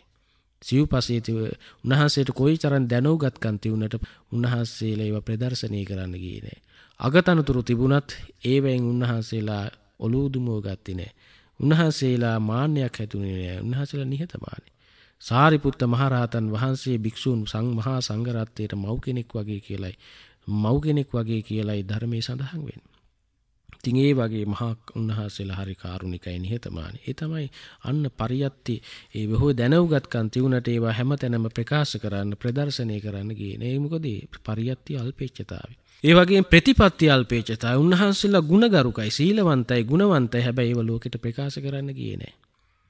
තමන්ගේ තියෙන ඒ උත්තරී මනුස්ස ධර්ම උන්වහන්සේලා සිව් පිළිසිඹියා ප්‍රාප්ත අට සමාපatti පංච අභිඥා ෂට් අභිඥා ආදී ලාභී සතරමක සතර ඵලයට පත් වුණු ඒ උත්තමයන් වහන්සේලා අග්‍ර ශ්‍රාවකයන් වහන්සේලා ධර්මසේනාධිපති කියලායි සඳහන් වෙන්නේ. ඉතින් ඒ තරම් මහා ප්‍රඥ උත්තමෙක් නමුත් උන්වහන්සේලා වඩන ඒ නිහතමානී ගුණ කෘතවේදී භාවයන් ලෝකෙට ප්‍රදර්ශනය කරන්න ගියේ නෑ. උන්වහන්සේලා ඒවා සංගවා පරිහරණය කළා. පව් සංගවා ජීවත් වුණා. ඒ ගුණධර්ම ලෝකෙට ප්‍රදර්ශනය කරන්න ඒවයින් ලෝකෙට පෙන්නල ලාභ උපයන්න ප්‍රසාදය ගෞරවේ දිනාගන්න උන්වහන්සේ උත්සාහ දැරුවෙන. ඒ තම උන්වහන්සේලාගේ ප්‍රතිපත්තියේ තියෙන අල්පේච්චතාව. තමන් ගුණධර්මයක් රකිනවනං ඒක ඒක අල්පේච්චතාවේ තියෙන ඒක ප්‍රදර්ශනය කරන්න ඇතුව රහසිගතව. ඒක සංගවා ඒ ගුණ ධර්මය වැඩීමයි. ඒ ගුණ ඒතු ගුණධර්ම ජීවත් වෙනකොට ගුණධර්ම දැනගන්න නුව නැති කෙන හැබැයි ප්‍රදර්ශනය කරන්න යන්න. තමන් කය වචන සිත හසුරුවනකොට ජීවත් වෙනකොට යා දිහා බැලුවහම මේවා ප්‍රකට පේනවා. හැබැයි යා ලෝකෙට ඒවා පෙන්වන්න යන්නේ නැහැ. ඒවා නුව නැතියන්ට ඒවා පේනවා. හැබැයි ප්‍රදර්ශනය කරන්න උත්සාහ දරුවනේ. අගුණ ධර්මයක් තියෙනවා නම් ගුණ ධර්මයක් තියෙනවා නම් දුර්වලකමක් තියෙනවා ඒව ප්‍රකට කරනවා. ඒව එළියට දානවා. ඒ වෙලියට දානවා ಗುಣ ධර්මයේ පිය දාන්නේ නැහැ. මොකද ඒක නුවණැත්තෝ දැනගන්නෝ නුවණින් විමසලා දැනගන්න ඕනේ. බලන්න සිව් පසේ තියෙන අල්පේච්ඡතාවය. පරියත්තියේ දැනුගත් බව දේවල් තියෙන අල්පේච්ඡතාවය. ඒ වගේම ප්‍රතිපත්තියේ තියෙන අල්පේච්ඡතාවය. තමන් සීල ගුණ රකින්න. තමන් සිල්වත් බව තමන් දන්නවා. තමන් හදවත එකකව තමන් සීලවන්තයි කියලා දන්නවා. නමුත් ලෝකෙට තමන්ගේ සිල්වත්කම ප්‍රදර්ශනය කරන්න යන්නේ බලන්නේ සීලේක තමයි සීලේ තියෙන අල්පේච්ඡතාවය. ආනම් එතකොට මහිච්චතාවය කියන්නේ ඒක අනිත් පැත්ත. සිව්පස්සේ කිරීත් මහා දැඩි ආසාවෙන් තමන් මොහෝ දැනුගත් කෙනෙක් හැටියට ලෝකයාට ප්‍රදර්ශනය කරමින් පට්ටන් කියවා ගනිමින් ඒව තමන්ගේ දැනුගත්කම් ලෝකයට පෙන්වමින් එහෙම දඟලනකට මහිච්චයි. යකද තමාගේ තියෙන ඒ දැනුගත් භාවයෙන් ලෝකයක් දැනගන්ට ඕන. කියලා එහෙම හැඟීමක් ආවහ මිතකොට එයා පරියත්ති මහිච්චයි. එතකොට තමන් රකින්න ගුණේ තමන්ගේ සීල ගුණ තමන් කරන කියන දේවල් ඒව ලෝකයක් දැනගන්න ඕන කියලා ලෝකයාට ප්‍රකාශ කරන ඒවා ප්‍රදර්ශනය කරන. ඒවා තමයි ප්‍රතිපත්ති මහිච්ඡතාවය. તો සිව්පස මහිච්ඡතාවය, පරියත්ති මහිච්ඡතාවය, ප්‍රතිපත්ති මහිච්ඡතාවය. ඒක නෙවෙයි පුරුදු කරනවා සිව්පස අල්පිච්ඡතාවය. පරියත්ති අල්පිච්ඡතාවය. ප්‍රතිපත්ති අල්පේච්ඡතාවය. ඔන්න අල්පේච්ඡ භාවය. එතකොට පාපිච්ච කියන්නේ වෙන එක. පාපිච්ච කියලා කියන්නේ පව් කරලා ඒක සංගවාගෙන ප්‍රාණඝාත කරනවා. මම මේ කරු ප්‍රාණඝාතය කිසිවෙක් නොදකීවා. කිසි කෙනෙකුට අහු වෙන්න එපා. මම ප්‍රාණඝාත නොදන කරනු කරන කෙනෙක් හැටියට දැනගනීවා අන්න එහෙම ප්‍රාහි ප්‍රාර්ථනාවක් තියෙනවා අන්න ඒක තමයි පාපිච්චතාවය මම සොරකම් කරනවා වැරදි කාමසෙ වෙනේ දෙනවා බොරුව කියලා පරසොරන හිස් වචන ඔක්කොම තියෙනවා ඒ ඔක්කොම හිතින් වෛර තරහ ක්‍රෝධ ඔක්කොම තියෙනවා නමුත් ඒව ලෝකයා නොදකීවා නොදෙන ගනීවා කියලා හිතනවා අන්න ඒක තියෙන පව් කරන්න තියෙන පව් සංගවාගෙන දුෂ්චරිත සංගවාගෙන ඒව කරගෙන යනෝ නමුත් ලෝකයා ඒක නොදැන ගනීවා ඒක වහන ස්වභාවයට කියන පාපිච්චතාවය පව් කරන්න දීන කැමැත්ත. මහිච්චතාවය කියන්න වෙන එකක් අපිචතාවය ගැන වෙන එක පාපිචතාවය ගැන වෙන එක. අන්න ඒව තෝරගන්ටෝ. එන්න එතකොට මේ ලෝතුරු ධර්මය තියෙන කාටද. අල්පේච්චයාට අල්ප ඉච්ච ආසාවන් අඩු කෙන මහා ආසාවන් වැඩි කෙනාට නෙවෙයි. සිව්පසේ කෙරි ආසාව පරියත්ති කෙරි ආසාව. එතකොට පරියත්ති ආසාව කියන්නේ පරියත්තිය ඉගෙන ගන්න නැතුව ඉන්න එක නෙවෙයි ඉගෙන දැනුගත්කම තියෙන්න ඕන. විෂයන් ඉදින් ඉගෙන ගන්න ඕන. ධර්මයේ විනය ඉගෙන ගන්න ඕන. බාහිර විෂය හැමදේම ඉගෙන ගන්න ඕන. ඉගෙන ගන්න එක ඉගෙන ගන්න නැතුව ඉන්න එක පරියත්ති අල්පේතාව නේ ඉගෙනගෙන ඒක ප්‍රදර්ශනය කරන්නේ අවශ්‍ය තැනට අවශ්‍ය ප්‍රමාණයට අවශ්‍ය දේ කියලා නිහඬ වෙනවා. ඒක තමයි පරියත්තියේ තියෙන අල්පේච්ඡතා පමණ දැන කතා කරන්න තොරතෝංචයක් නැතුව වාචාලකමට එහෙම කතා කරන්න යන්නේ. අන්න එහෙම කතාගෙන කිව්වොත් ඒ යාගේ ඉගෙන ගත්ත තේ දැනුගත්කමේ මහිච්ඡතාවයේ තියෙන. එන්න ඒවෙන් මාන්නේ හදාගන්න. එන්තියන ඒ නිසා මේ ධර්මයේ තියෙන අල්පේච්ඡයාට මිසක් මහිච්ඡයාට නොවේ මහිච්ඡයාට මේ ධර්මයෙන් වැඩ ගන්න අමාරුයි ප්‍රයෝජන ගන්න අමාරුයි. අල්පේච්ඡ කෙනා තමයි මේ ලෝතුරු ධර්මය අල්ලන්නේ. එතකොට ඊළඟ කාරණේ ඒක මහා පුරුෂ විතරකය. ඒක ඇත්තටම ප්‍රායෝගිකව අපි අපේ ජීවිත තුනට ඒ ಗುಣධර්ම එකතු කරගෙන ඒ ಗುಣධර්ම වලට අනුව අපේ ජීවිතයේ ආකල්ප දෘෂ්ටිය සකස් කර ගන්න ඕන. අන්න එතකොට තමයි අයි ජීවිත ගුණාත්මක බවට පත් වෙන්නේ. ආකල්ප දියුණු වෙන්නේ. එතකොට ඊළඟ එක තමයි මේ ධර්මයේ සන්තුට්ටස් ආයන්දම් උනායන්දම් අසන්තුට්ටස් ලද දෙයින් සතුටු වෙන කෙනාටයි මේ ධර්මයේ. ලද දෙයින් සතුටු වෙන්න බැරි කෙනාට නම් නෙවෙයි. ලදදෙන් සතුටු වෙනවා කියන්නේ මොකක්ද? දැන් මේ භික්ෂූන් වහන්සේලා භික්ෂූන් වහන්සේ නමක් සතුටු වෙන්න පුළුවන්කම මහාන ජීවිතයට ඇතුළු වෙන්නේ එයාට පුළුවන්කම තියෙන්න ඕන පාංශුකූල සීවරයෙන් මේ ශරීරයේ වහා ලැජ්ජස්ථාන වසාගෙන ජීවත් වෙන්න පුළුවන්කම තියෙනවා. පාංශුකූල සී පාංශුකූල සීවර කියන්නේ අර මිනිඔතල විසි කරන කනත් තියෙන විසි කරපු රෙදි ගෙනල්ලා ඒවා තම්බල පඬුපවල ඒවා පිළිවෙලට සකස් කරලා මහගත්ත චීවර. ඒවට කියන පාංශුකූල සීවර කියලා. එතකොට පංසුකූල චීවරයෙන් ජීවත් වෙන්න කැමැත්ත තියෙන්ටුව. යම් කිසි විදියකට ඒ චීවරයේ නැතුව අමසර සිවුරක් දායක පිරිස පූජා කරනවනම් ඒව අමතර සිවුරු මිසක් ඒවට කැමැත්තෙන් නෙවෙයි මහණුනේ අර පංසකූල චීවරයෙන් මගේ මේ ශරීර නඩත්තුව මේ ගත වසා ගැනීමේ නඩත්තු වසා ගැනීම මං ප්‍රමාණ ඒ එතනින් සතුටු වෙනවා. ඒක ඒ ඇති. හැබැයි අර්මතර සිවුරයක් දා පිරිපි පිරිගන්නනවනම් ඒක පිළි අරගෙන එක පරිහරණය කරනවා හැබැයි ඒක අමතර එකක්.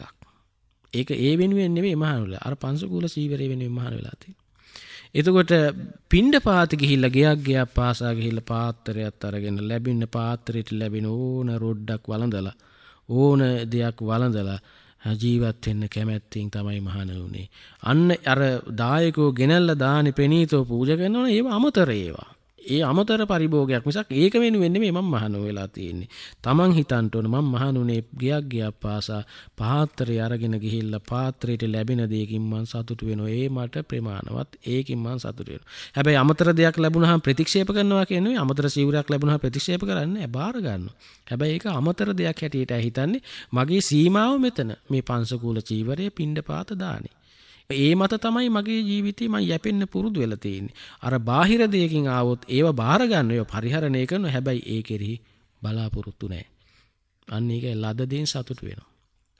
ලැබිච්ච දෙයකින් සතුටු වෙනවා. එතකොට බලන්න අර මට්ටමේ හිටියාම අර අරදී අර දායකව පූජා කරන ඕනම දෙයකින් එයාට සතුටු වෙන්න පුළුවන්. මොකද අමතරව පූජා කරන සිවුර මොන මොන දේ වුණත් බාල සිවුරක් වුණත් වටින සිවුරක් වුණත් මොන රෙද්ද මොක මොන જાති රෙද්දක් වුණත් ඒකෙන් සතුටු වෙන්න පුළුවන් ගැටලුවක් නැහැ. දානේ පින්ඩපාතෙන් ලැබෙන ගෙනත් දෙන දානේ සම්බෝලයි බතුයි ගෙනත් දුන්නත් අන්න ඒක පරිහරණය කරන මේ ප්‍රමාණවත්. ඒකින් සතුටු වෙනවා. එයා සතුටු ගන්න පුළුවන්. අරව නෑ මේව නෑ. කියලා එහෙම එකක් නැහැ. අර බින්න පාතෙන් තමයි සතුටු වෙන්නේ. අර අමතර ඕනම දෙයකින් අමතර දානයකින් සතුටු වෙන්න පුළුවන්. ඒක ගැටලුවක් නෑ යාට. අන්න ලද දෙයින් සතුටු වෙන. ඒ වගේම සේනාසන වශයෙන් ගත්තාම ගලක් ගහක් යට හෝ ගලක් යට ගල් එනක තමයි ජීවත් වෙන්න කැමැත්තෙන් වань. ඉතින් දායකයෝ කුටි හදලා දෙනවනම් ඒව අමතර වශයෙන් පරිහරණය කරනවා. හැබැයි ඒව කිරීමෙන් මෙම්මනේ මහන වෙලා තියෙන්නේ. අයව අමතර දෙයක් හැටියට කොට කුටි සේනාසන කුමක් වුණත් සකස් කරලා දුන්නා නම් ඒකෙන් එයා සතුටු වෙනවා. එතකොට බෙහෙත් හේත් කියන්නේ පූතිමුත්ත බේසජ්ජ. පූතිමුත්ත කියන්නේ සොකීය මුත්‍රා දැන් සමහරු එක කියන ගව ගව මුත්‍ර කියලා. ඒ ගව මුත්‍ර වලින් සකස් කරගත් එහෙම නැත්නම් ශ්‍රොකීය තමන්ගේ මුත්‍රා වලින්ම සකස් කරගත්ත බෙහෙතක් තියෙනවා. ඒව මුත්‍රා බෙහෙත් හැටියට පරිහරණය කරමින් ජීවිතය ගත කරනවා. අමතරව ඉතින් බෙහෙත් බෙහෙත් අරන් දෙනවනම් ඒවෙන් සතුටු වෙනවා. ඒවෙන් සෑහීමකටපත් වෙනවා. එතකොට ලද දෙයින් සතුටු වීම බොහෝම ශ්‍රේෂ්ඨ ගුණය. ලද දෙයින් සතුටු කියන වෙන ක්‍රම දෙයක් තමයි ඉල්ලන්නේ. ඉල්ලීම කියන එක පහත් ලාමක ගතියක්. ඉල්ලීම කියන්නේ ආසාව මත ගොඩනැගෙන ඉල්ලීම කියන එක සුදුසු දෙයක් නෑ ඉල්ලුවාම ඉල්ලන කෙනත් ඉල්ලන කෙනා කෙරේ අපහදිනෝ ඉල්ලලා නුදුන් ඉල්ලන කෙනා ඉල්ලන දේ නුදුන්නාම එයා ගැන ගැටෙනවා පැහැදිනවා. ඒ නිසා ඉල්ලීම කියන එක පහත් දෙයක්. ලැබෙන දෙයින් සතුටු වීම ශ්‍රේෂ්ඨ දෙයක්. ඒ නිසා ලදදීන් සතුටු වෙන කෙනාටයි මේ දහම තියෙන්නේ ලදදීන් සතුටු වෙන්න බැරි කෙනාටන්නේ දැන් බලන්න මේ ලෝතුරු ධර්මයේ මේ ගොඩනැගෙන මේ ආකල්පමය වශයෙන් ගොඩනැගෙන මානසික ආකල්පමය වපසරේ ආකල්පමය ස්වභාවය අන්න බලන්නේ ශාසනික වශයෙන් කෙනෙක්ගේ ආධ්‍යාත්මය වැඩෙනකොට ඔන්නොයි ගුණධර්ම තමයි පිහිටන්නේ යාතුන. එයා හිත වැඩෙනවා කියන්නේ ඔතන. හිත වැඩෙන කෙනෙ හිත මේ ශාසනය හිත වඩපු කෙනෙක්ට කෙනෙකුට සමත විපස්සනා වශයෙන් හිත වඩන කෙනෙක් අල්පේච්චයි. සතර හිත වඩන කෙනෙක් මේ ශාසනයේ ඒ කාන්තේ ලදදෙන් සතුටු වෙන කෙනෙ. ඊළඟ කාරණය තමයි පවිතිස්සායන් දම්මෝ නායන් දම්මෝ සංගනිකාරාමස්ස. එතකොට හුද කලාවේ වාසය කරන්න කැමති වෙන්න ඕන. අර ගණයා සමග ඇලී ගැලී වාසය කරනවා නම් එයාට මේ දහමින් ප්‍රයෝජන ගන්න බෑ. පිරිසෙහි ඇලී ගැලී වාසය කරන කවුරු හරි එක කතා කරන්න ඕන, ඇසුරු කරන්න ඕන, තනියෙන් වාසය කරන්න පුරුදු නෑ. ඉතින් අන්න එහෙම වුණාම පිරිසෙහි කෙනෙක් කෙනෙක් කෙරෙහි පිරිසක් කෙරෙහි ඇලී ගැලී වාසය කරනවා නම් බෑ. දැන් අපි හිතමු කෙනෙක් සමාජ මාධ්‍ය පරිහරණය කරන Facebook ඒවා YouTube වගේ දේවල් නිතර වීඩියෝ බලන්න ඇබ්බැහි වෙලා තියෙන ඒ ඒ වගේ දේවල් වලට පව ඇබ්බැහි වුණොත් ඒත් ගණයාකමක ඇලීම තමයි. එහෙම ඇබ්බැහි වෙච්ච කෙනෙකුටත් මේ දහම දියුණු කරන්න අමාරුයි පිරිහෙනවා. දිනෙන් දින පරිහානියටපත් වෙනවා. ඒවයි වටිනා තොරතුරු තියෙන්න පුළුවන්. වටිනා තොරතුරු ග්‍රහණය කරගත්ත එක වරදක් නෙවෙයි. නමුත් ඒවට ඇබ්බැහි වෙලා අර වැරදි පැතිවලට යොමු වුණොත් එතකොට අන්න එතන එයාගේ ගණයා සමග ඇලීමක් වෙන්නේ. එයාට ධර්මයේ දියුණු කරන්න අමාරුයි. ප්‍රමාදයි. එතකොට විවේකය කියලා කියන්නේ කාය විවේකයේ, චිත්ත විවේකයේ, උපදි විවේකයේ. එතකොට විවේකයේ ගත්තාම කාය විවේකයෙන් වාසය කරන්න පුළුවන් කෙනෙක් වෙන්න ඕන. වැඩ බහුල නැති කාය විවේකයේ අවශ්‍යයි. මොකද මේ ධර්මයේ දියුණු කරන්න, ආධ්‍යාත්මයේ දියුණු කරන්න හුදකලාව විවේකයේ කියන එක අවශ්‍යයි. ඒ වගේ චිත්ත විවේකය කියලා කියන්නේ නීවරණ ධර්ම වලින් සිත යටපත් වීම එක. බව නීවරණ ධර්ම වලින් හිත විඩාවට වෙහෙසටපත් නොවන බව තමයි චිත්ත විවේකය කියන්නේ. නීවරණ වලට ග්‍රහණය වෙලා නීවරණ ගැනම හිත හිතා කල්පනා කර කර ඉන්නවා නම් එයාට කවදාකවත් අකුසලයන්ට යට වෙලා තියෙන්නේ. එයාට හිත වැඩින්නේ නැහැ. ඒ නිසා චිත්ත විවේකය අවශ්‍යයි. ඒ චිත්ත විවේකයේ සඳහා සමත විපස්සනා සමතේ වඩන්න ඕන.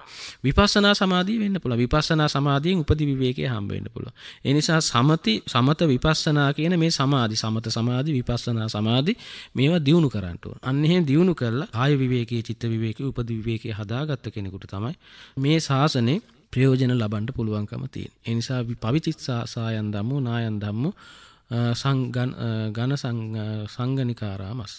එතකොට විවේකයෙන් ඉන්න කැමති කෙනාට තමයි මේ දහම විවේකේ නැති කෙනාට නෙවෙයි.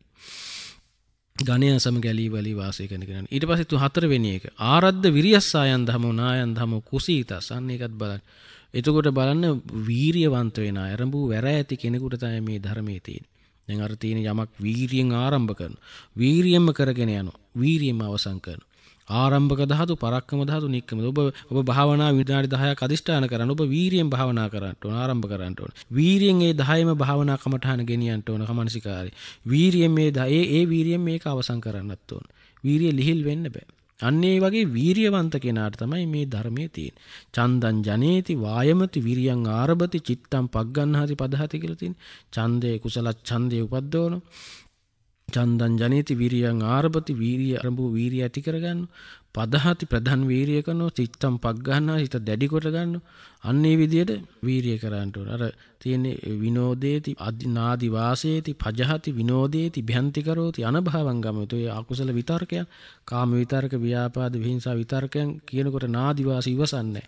පජහති ඒව දුරු කරනවා.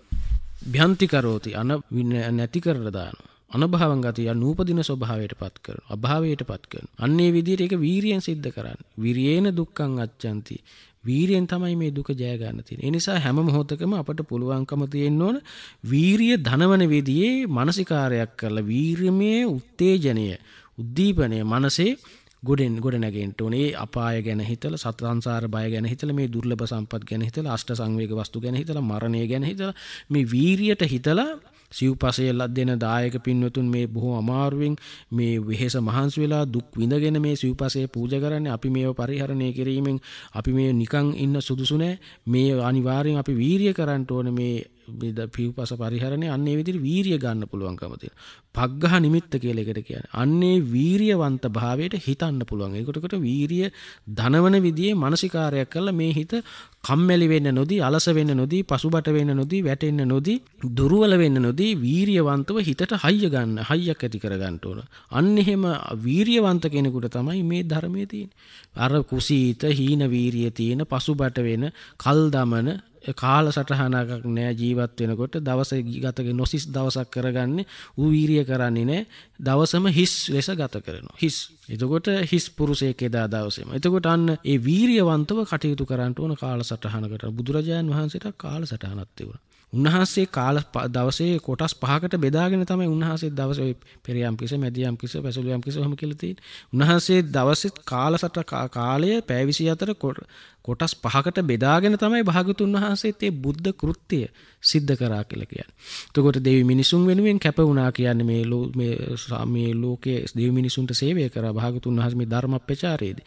මේ ලෝකයට තමන්ගේ තමන් වහන්සේ අතින් සිද්ධ වෙන්න ඕන බුද්ධ කෘත්‍යය භික්ෂුන් වහන්සේලාට ගිහි ජනතාවට දෙවියන්ට බඹුන්ට තුන්ලෝ වැසි සකල සත්වයන්ට තමන්ගෙන් යහපතක් අර්ථයක් පරාර්ථයක් වෙන විදියට වඩයුතු කරේ භාගතුන් වහන්සේත් පෑවිසි අතර කොටස් පහකට කඩාගෙන කාල සටහනකට අනුව. ඒ නිසා දියුණු වෙච්ච හැම කෙනෙක්ම දිහා බැලුවාම එයා කාල සටහනකට අනුව ජීවත් වෙච්ච අය.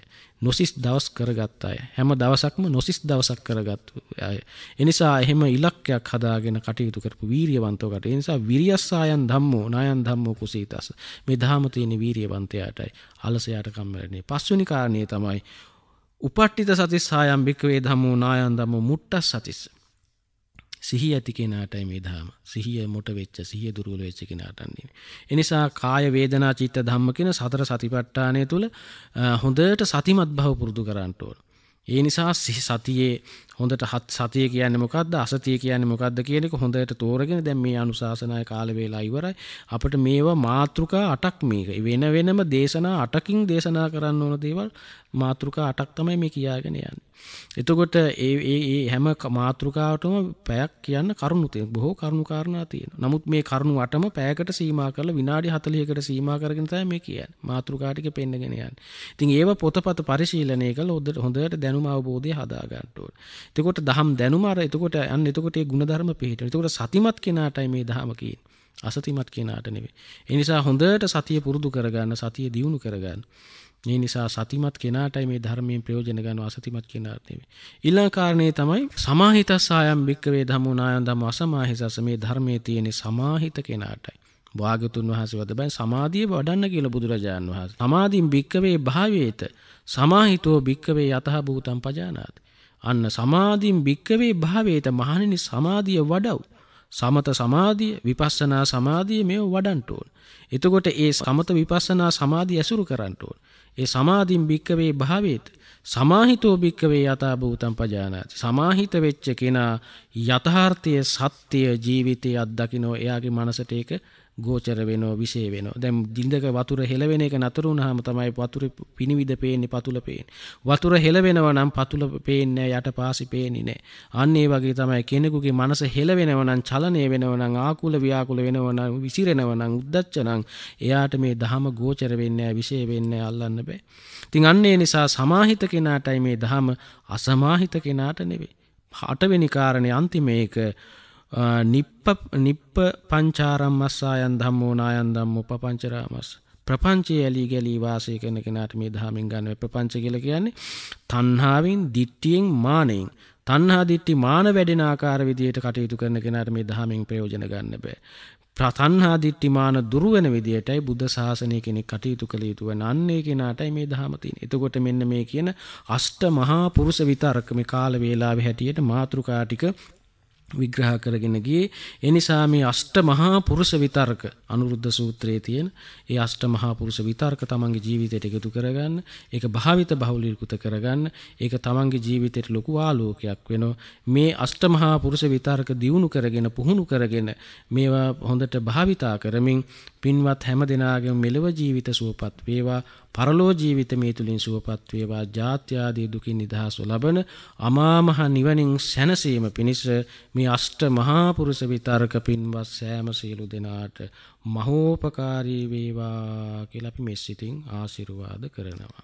සාදු සාදු සාදු. ධර්මදේශනාවේ දායකත්වයන් සිහිපත් කිරීමට අවසරයි. දැනට ඔස්ට්‍රේලියාවේ පර්ත් නුවර පදිංචි තිලානේ තේනබදු මැතිනිය සහ මහින්ද තේනබදු මහත්මා ධර්මදේශනාවේ දායකත්වයට එක්වන්නේ පුන්සිසි ෆොන්සේකා මෑණියන් දිවන්ගත වී වසර දහනමයක් පිරීම එතුමිය සිහිපත් කරමින් පින් අනුමෝදන් කිරීම එතුමියගේ භවගාමී දිවිය වාසනාවන්ත වේවා කියන උදාර ප්‍රාර්ථනාව උතුම් වූ ධර්මාවබෝධය එතුමියට ලැබේවා කියන ප්‍රාර්ථනාව ආදරණීය පියාණන් තොම්සන් පොන්සේකා මහතා සිහිකර පින් අනුමෝදන් කිරීම ජේම්ස් තේනබදු පියාණන් සිල්වියා තේනබදු මෑණියන් සිහිකර පින් අනුමෝදන් කිරීම සංසාරගත පවුල්වලට සහ සම්බන්ධ මේ පරලව ගිය සියලුම නෑසියන්ට පින් අනුමෝදන් කිරීමේ අරමුණ ගෞරවනීය දේශකයන්න් වහන්සේට ඒ වගේම මහා සංගරුවනට නිදුක් නිරෝගී සුවය ලැබේවා කියන උදාර ප්‍රාර්ථනාව ද ඇතිවයි. දියණියන් දෙදෙනා පුතුන් දෙදෙනා මොනුබුරු මිනිබිරියන් පවුලේ සියලු දෙනා අද දවසේ ධර්මදේශනාවේ දායකත්වයට එක්වන්නේ. අපි මේ හැම දෙනාටම මේ අයගේ සියලු යහපත් ආකල්ප බලාපොරොත්තු ඉටු වේවා කියලා ප්‍රාර්ථනා කරනවා. අද දායකත්වයට එක්වන්නේ ඔස්ට්‍රේලියාවේ පර්ත් නුවර පදිංචි පින්වන්ත තිලානි තේනබදු මැතිනිය සහ මහින්ද තේනබදු මහතා ප්‍රධාන පවුලේ සියලු දෙනා විසින්. දිවංගත වන්නට යෙදුණු පීඒ සිරිසේන පියාණන් සිහිකිරීම ජේනිලවීර මිත්තනිය සිහිකර පින් අනුමෝදන් කිරීම බටපොල පදිංචි කමලා විජයවීර මැතිනිය එතුමියගේ හැත්තෑ නවවෙනි ජන්මදිනය වෙනුවෙන් ධර්මදේශනාවට දායකත්වය ලබා දෙන්නේ අපි ඔබතුමියට සුව සපිරි උපන්දිනයක් වේවා කියලා ප්‍රාර්ථනා කරනවා. ඒවාගේම ප්‍රසාද් සුජාතා සුරේක නිරෝෂා දර්ශන ගීතා පුතනුවරුන් ඒ වගේම ලේලිවරු පවුලට සහ සම්බන්ධ මොනුබොරු මිනිබිරියන් ආකර්ෂ පබීෂ සත්සර රශ්මි එසන්දී දීපාවි එවාගේම මෑණියන්ගේ සහෝදර සහෝදරියන් විජේවීර දයාරත්න කාන්ති මල්ලිකා මේ හැම දෙනාම ධර්මදේශනාවේ දායකත්වයට එක් වෙනවා අපිට දායකත්වය දැනුම් දෙන්නේ හැත්තෑ නවවෙනි ජන්මදිනය සමරණ බටපොල පදිංචි පින්වන්ත කමලා විජයවීර මැතිනිය මෑණියන් අපි ඔබතුමියට දිගාසිරි ප්‍රාර්ථනා කරනවා. බලංගොඩ දෙනගම අමුවත්ත විසූ වසරකට පෙර දිවංගත වුණ ජේම් කළුමැණිකේ උපාසිකා මාතාව සිහිකර පින් අනුමෝදන් කිරීම. සුජීවත්ව සිටින ඒම් රත්රං හාමි උපාසක මහතාට නිදුක් නිරෝගී සුවය චිරජීවනය ප්‍රාර්ථනා කිරීම. මේ පරලව ගිය පවුල්වලට සහ සම්බන්ධ සියලුම නෑසියන්ට පින් අනුමෝදන් කිරීමත් සුජීවත්ව සිටින සියලුම දෙනාට නිදුක් නිරෝගී සුවය චිරජීවනය ප්‍රාර්ථනා කිරීම. ගෞරවනීය දේශකයන්න් වහන්සේට උන්වහන්සේගේ ශාසනික කටයුතු වඩාත් හොඳින් කරගෙන යාමට සුවසෙත ලැබේවා කියන ප්‍රාර්ථනාවද ඇතිවයි බලංගොඩ දෙනගම අමුවත්තේ පදිංචි ඒම් රත්රංහාමේ මහතා සහ පවුලේ සියලු දෙනා අද දවසේ ධර්මදේශනාවේ දායකත්වයට එක් වූයේ. මීළඟට මා ඉතාම ගෞරවෙන් ආරාධනා කරනවා ගෞරවනීය දේශකයන්න් වහන්සේට පුණ්‍යානුමෝදනාව සඳහා. හොඳයි පැයක් පමණ ධර්මශ්‍රවණය කිරීමෙන් ජනිත කරගන්ට යුතුණු කුසල ශක්තියේ බලයෙන් තුනුරුවන් සතු අනන්ත ගුණ බලයෙන් පින්වත් සෑම සියලු දෙනාට දායකත්වයේ හොබවන ඒ දායක පින්වත් පින්වතුන්ට පින්වතියන්ට දුවා දරුවන්ට මේ උතුම් කුසල ශක්තිය බලයෙන් නිදුක් නිරෝගී සම්පන්නිය චිරජීවනයේ සැලසේවා සියලු යහපත් ප්‍රාර්ථනා ඉෂ්ට සිද්ධ භාවයට පත්වේවා මෙලෝ පරලොව දෙලව සැනසිල්ල උදා වේවා. සුවසේම සසර ගමන ගිවන් කොට පාරමී පුරා අමා මහ නිවනින් සැනසීම පිණිස මේ පුණ්‍ය ධර්මියෝ හැම දිනාටම ආශිර්වාද වේවා කියලා ආශිර්වාද කරන අතර නමින් මිය පරලොව ගිය සියලූම ඥාති බන්දුවරීන්ට මේ උතුම් පින අත්පත් වේවා මේගේ ඥාතින්ගේ ජීවිත සැපවත් වේවා මේ දුක් ඇති සංසාර කතරින් අත මිදේවා කියලා අපි පින් අනුමෝදන් කරමු. සියලු දෙවියන්ටත් මේ පින් හිමි වේවා. දෙවියෝද චතුරාර්ය සත්‍ය ධර්ම අවබෝධ කරගෙන සසර දුකින් අත මිදේවා. ලක්වැසි ජනතාවට ලෝවැසි ජනතාවටත් අපා දෙපා සිව්පා බහුපා ඇහැට පෙනෙන නොපෙනෙන ළඟ දුර වසන හිතහිත මැදහත් මනුස්සාමනුස දිව්‍ය බ්‍රහ්මාදී සකල සත්වයන්ට ලක්වැසි ජනතාව ලෝවැසි ජනතාවට කෝටි 800 ගණනක් වාසය කරන මනුස්ස ලෝක සියලු මනුස්ස වර්ගයාට සිංහල දෙමළ මුස්ලිම් බර්ගර් මැලේ ආදී සියලු ජාතීන්ට බෞද්ධ අබෞද්ධ ක්‍රිස්තියානි කතෝලික මුස්ලිම් හින්දු ආගමික නිරාගමික සියලු දෙනාට පෙනෙන නොපෙනෙන සියලු දෙනාට සියලු ජීවීන්ට අපේ මේ මහා පිංකම ආශිර්වාදයක්ම වේවා ශාන්තියක්ම වේවා යහපතක්ම උදා වේවා කියලා අපි ලෝකයාට සෙත්මෙත් ප්‍රාර්ථනා කරමින් ආශිර්වාද කරමින් පින් දෙමු ආකාසට්ටාච බුම්මට්ටා දේවානාග මහිද්దికා පුඤ්ඤන්තං අනුමෝදිත්වා චිරං රක්칸තු සම්බුද්ධ ශාසනං.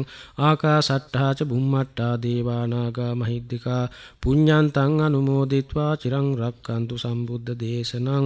ආකාසට්ටාච බුම්මට්ටා දේවානාග මහිද්దికා මිත්‍රා පුඤ්ඤන්තං අනුමෝදිත්වා චිරං රක්칸තු සම්බුද්ධ ශාවකං චිරං රක්칸තු ත්වං සදාති।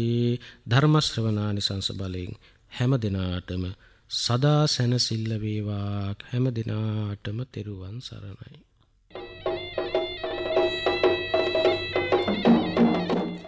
ධර්ම දේශනය පැවැත් වූ ගෞරවනීය දේශකයන්න් වහන්සේ පොල්ගස් ඕවෙට දෙකේන විපස්සනා භාවනා මධ්‍යස්ථාන වාසී පූජ්‍ය පාද වඳුරබ සංඝහනන්ද ස්වාමීන් වහන්සේ. අපි උන්වහන්සේට නිදුක් නිරෝගී චිරජීවනය සාදුකාරයක් දී ප්‍රාර්ථනා කරමු සාදූ සාදූ සාදූ. මේ වැනි ධර්මදේශනයක දායකත්වය ලබා ගැනීමට ඔබත් නොපමාව අපිට කතා කරන්න.